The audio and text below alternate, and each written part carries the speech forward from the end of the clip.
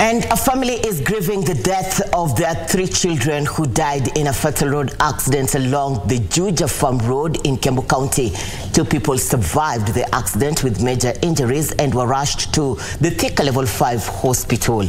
According to the police, the deceased had parked a motorbike beside the road when a lorry rammed into them. Residents and families are appealing to the government to help the family bury their loved ones and expedite the construction of speed bumps and road signs to avert more incidents.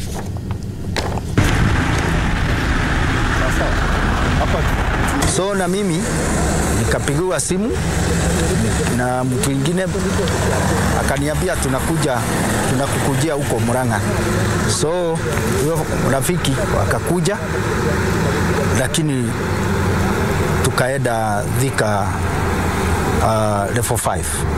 Sasa hapo ndipo nilipata watoto wa shahaga Kwanza nikaona huyo ako ICU uh, Irogo na vile tulikuwa tumezoeana tu, tunaongea tu kila wakati.